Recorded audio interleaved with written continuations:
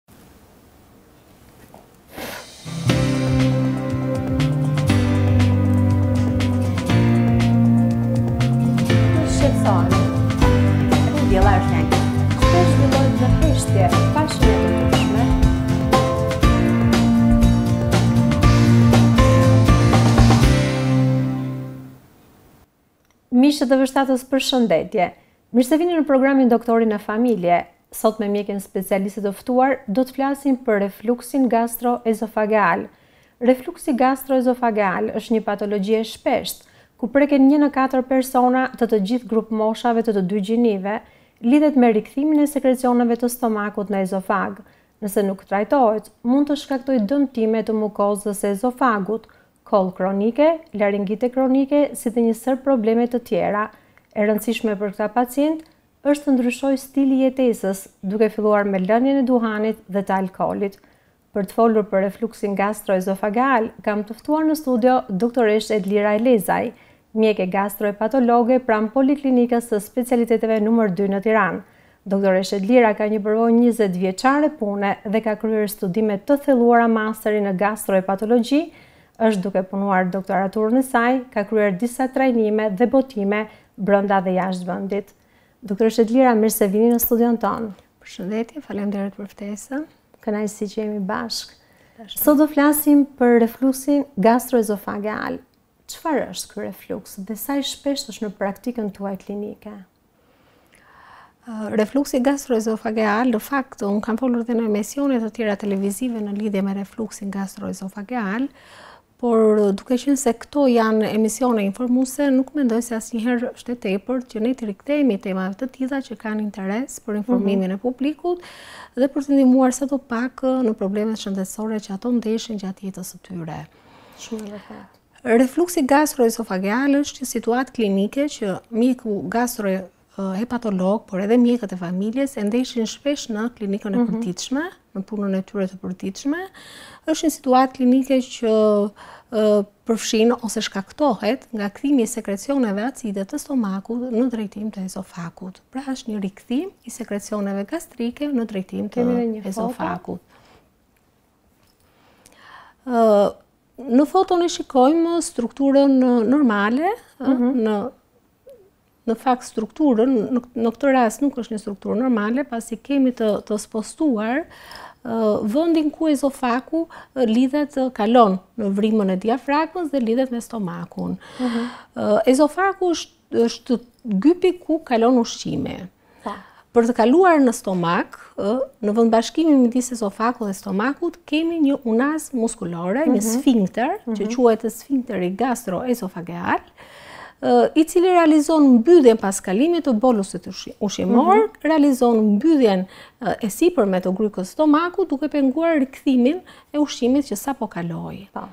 Në rastet kur kemi një pamjaftueshmëri të mbylljes të këtij sfinkteri, pra një mhm. insuficiencë të, të sfinkterit të poshtëm të, ezofag, të ezofagut, kjo situatë nuk realizohet.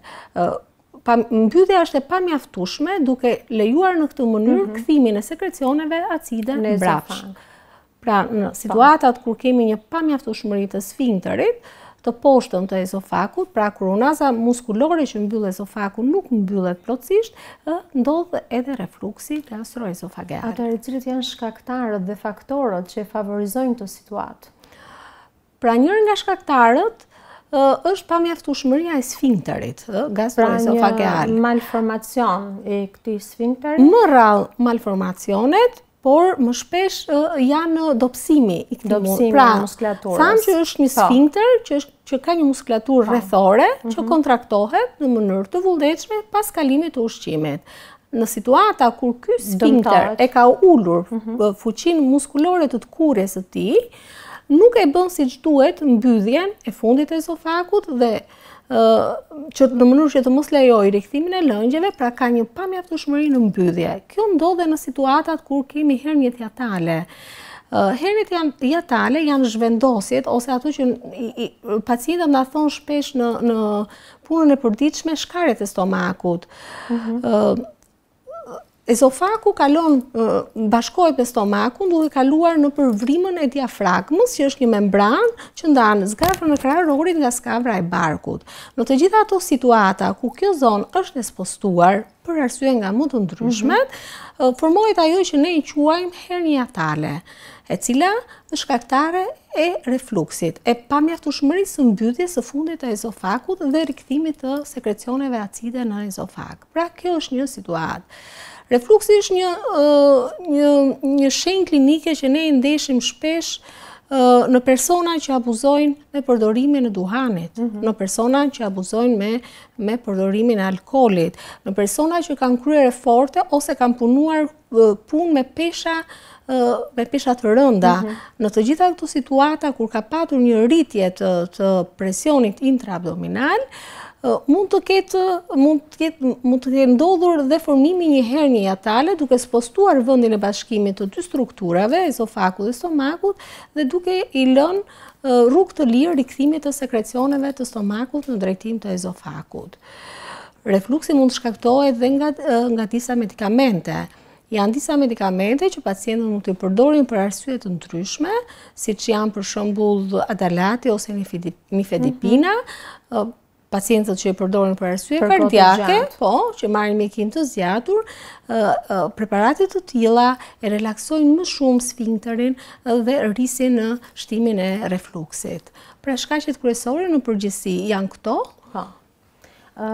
Por edhe malformacionet që juve përmendët në situatat e tumoreve të lokalizuar në regionin kardioesofageal, që është regioni ku bashkohet ezofagu me stomakun, Sigurisht, është prishur struktura anatomike e muskujve, të sfinkterit dhe të pjesës së sipërme të stomakut dhe i, i japin më shumë ë po themi e shtojnë më tepër kthimin e sekrecioneve. Cilat janë simptomat e një refluksi? Simptoma më e shpeshtë e një refluksi është djegia e kraharorit. Pacienti referon për një djegje mhm. prapa dërrasës së kraharorit. është një dhimbje djegëse, një dhimbje që shpesh herë ngatërrohet dhe me dhimbjet kardiake. Dhe me të drejtë dhe mjekët e familjes dhe mjeku gastrohepatolog. Mund të çojë te kardiologu në fillim. Ka, ka një arsye për të kërkuar dhe një konsultë me mjekun mhm. kardiolog, aq më tepër që problemet kardiake janë probleme që nuk presin dhe po. mjeku gastrohepatolog duhet të jetë i qetë që nuk jemi përpara një problemi kardiak, por jemi përpara një refluksi, pra përjashtohet pjesa kardiake e dhimbjes dhe jemi përpara një refluksi i cili mjekohet shumë mirë nga mjeku specialist.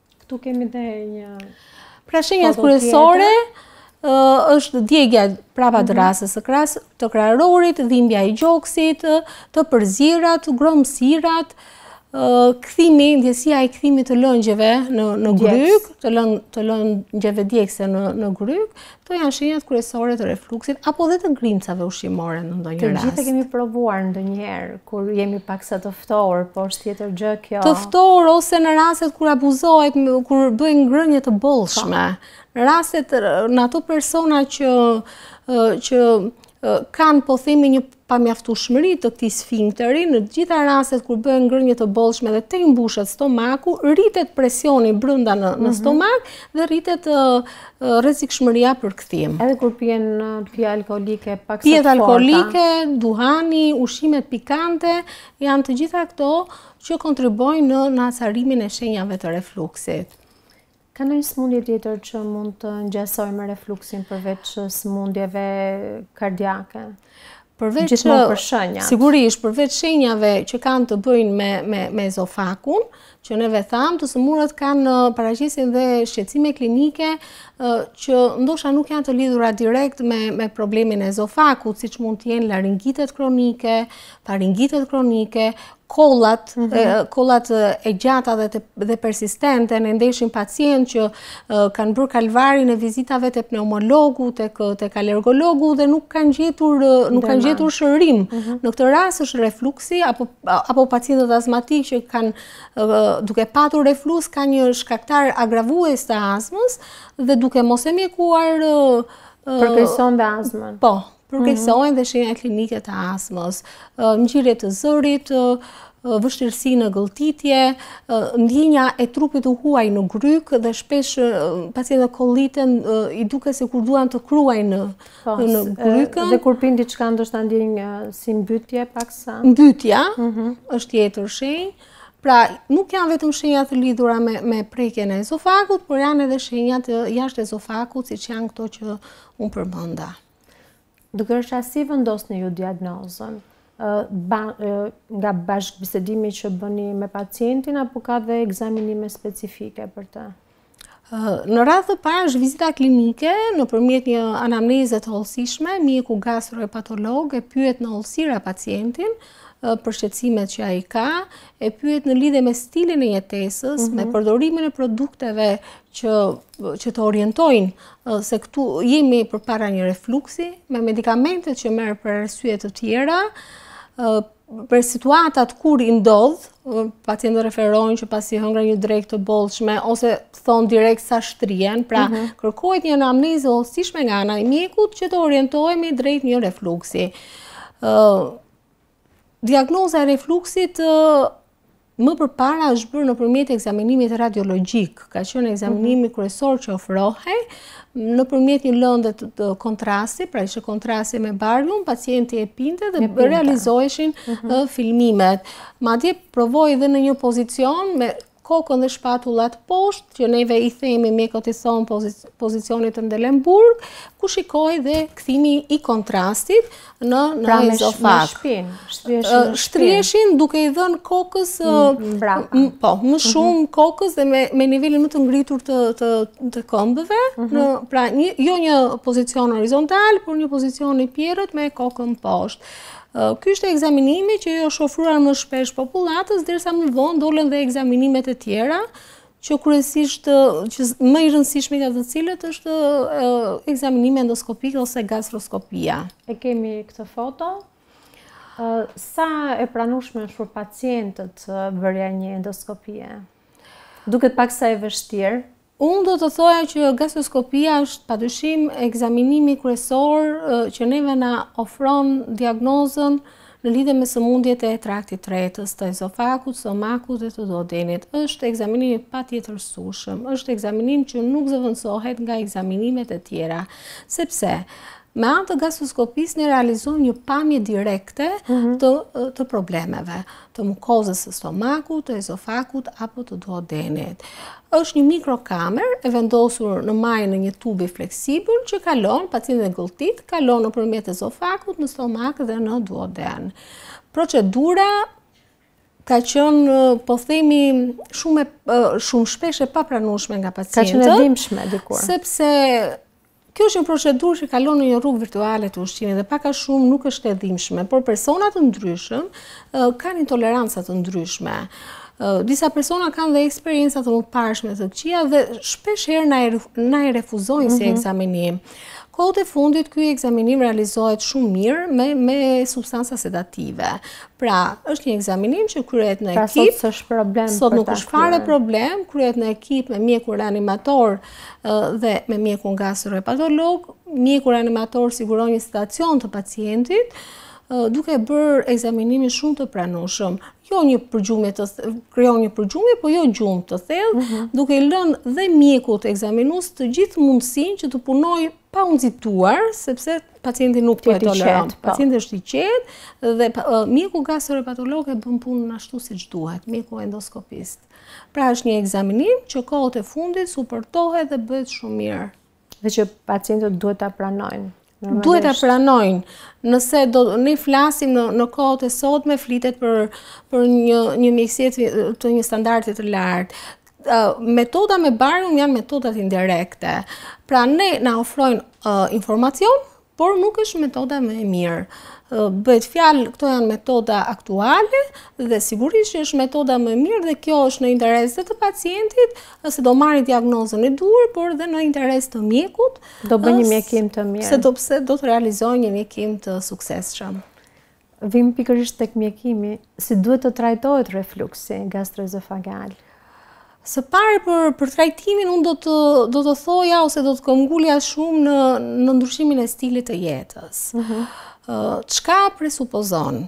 Lënien e alkoolit, të duhanit, të ushqimeve pikante, dhe duke qënë se refluksi ka të bëjë me atë lëshimin e sfinkterit që neve përmendëm, këta pacientë duhet të evitojnë ngrëniet e bollshme. Mhm. Pra, rekomandohet që të hajnë shpesh dhe nga pak, tre vakte në ditë të shtohen në 5 vakte në ditë, pra në por në porcione të vogla, rekomandohet që të hajnë darkë herët dhe të shkojnë për të fjetur rreth 2-3 orë pas ngrënies së darkës, Pjesa të flenë me jastëk të lartë, po kur themi me jastëk të lartë, jo vetëm pjesa e qafës dhe e kokës, por duke filluar që nga shpatullat, në mënyrë që ne t'i japim një kënd të ngritur dhe një pozicion i tillë do të minimizonte kthimin. Ju mundësisht thoni të flenë anash? Pozicioni më i mirë është që pozicioni i shpatullave të jetë mbi nivelin, të jetë lartë duke minimizuar kthimin. Mhm.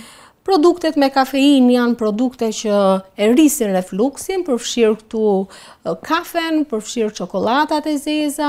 Kemi dhe një foto në fakt që tregon se si duhet të ndryshojë stili i jetesës. Pak a shumë janë po, janë gjëra që neve po, neve përmendëm. Po. Ushqimet me, me përmbajtje të lartë të yndyrnave dhe të proteinave. Dhe shifet shumë dhe tek obezët. Takohet në obezët, për dy arsye, e para mhm. në konsumimin e ushqimeve që ato bëjnë, e dyta presioni intraabdominal, duke qenë se janë struktura të shëndosha, mhm. presioni është më i madh dhe e kanë më të kollajshëm të domethënë të, të përjetojnë shenjat e refluksit se sa pacientët që janë me një strukturë më, më të dobët. Pra ju në fillim trajtimin e nisni me ndryshimin e stilit të jetesës. Po, pra, ëmbëlsirat, hapi po. ëmbëlsirat gjithashtu rezulton mhm. që të rrisin problemet e refluksit, shqetësimet e refluksit. Pra hapi i parë është edukimi dhe ndryshimi i stilit të jetesës pacientit. Ka shumë rëndësi, pasi rezultati i, i trajtimit nuk do të varet vetëm nga mjeku me medikamentet që përdor, por edhe nga pacienti duke mbajtur parasysh këtë dhe duke i zbatuar këto po, rregulla ushqyerjeje që neve përmendëm. mjek pacient si rezultatin që duhet. Më të mira në në mjekim. Atëherë janë medikamentet. Po. Mjekimi me medikamente. Në sëmundjen e refluksit, mjekimi me medikamente është i zgjatur.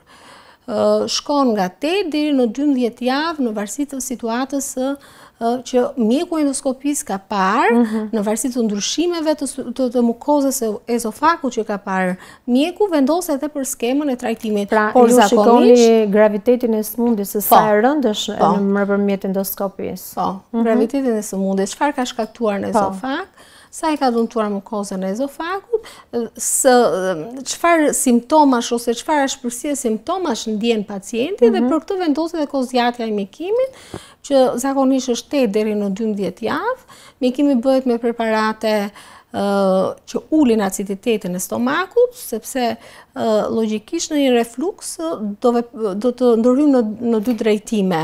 Duhet për simptomat?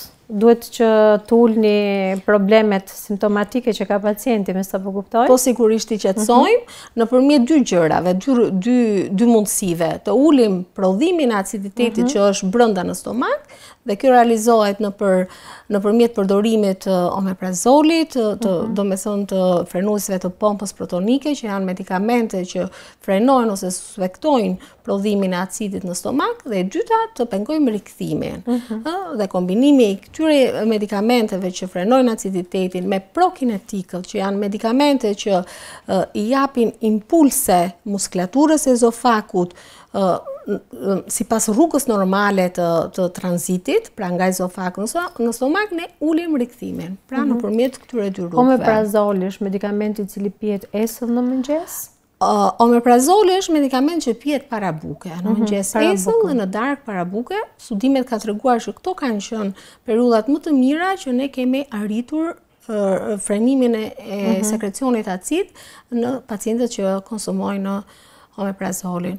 Përdoren barnat antiacide, janë të tipit të solucioneve që zakonisht pihen rreth një orë pas buke në mënyrë që të veshin murin e brendshëm të ezofagut dhe ta bëjnë atë sa më pak të ndjeshëm ndaj dëmtimit të aciditetit të stomakut. Aciditeti i stomakut te personat me refluks është më i lartë se te personat normal? Nuk ka nuk të bëjë me një gjë të tillë. ë mhm. në personat me refluks thjesht rikthimi i këtij aciditeti në ezofag që jep këto.